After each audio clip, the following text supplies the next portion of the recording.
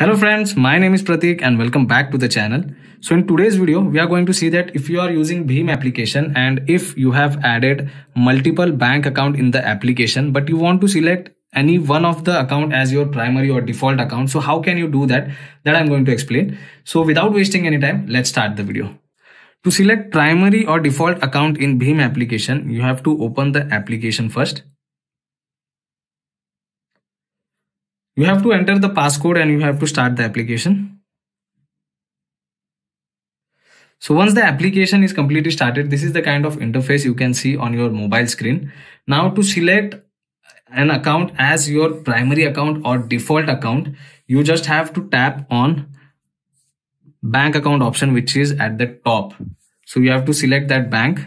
So once you tap on bank account option, you can see currently there are two accounts linked in BHIM application. So I have already added these two account in the application. So now as you can see, Kotak Mahindra Bank account is my default account right now in BHIM application. But what if I want to select IndusInd Bank account as my default account?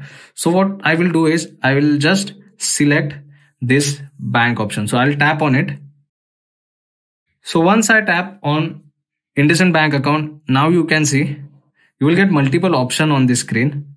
And if you want to select IndusInd Bank account or your particular bank as a default account, you will get an option of make default. So for example, now uh, Kotak Mahindra Bank is my default account and I want to make IndusInd Bank as my default account. So I will tap on make default.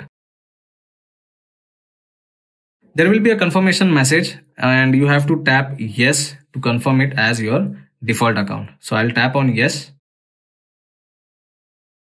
And now you can see IndusInd Bank account is default account. So I have successfully selected IndusInd Bank as my default account in BHIM application. At the start, Kotak Mahindra Bank account was my default account, but it is not a default account anymore. IndusInd Bank account is default account. So these are the simple steps which you have to follow to select a primary or a default account in BHIM application.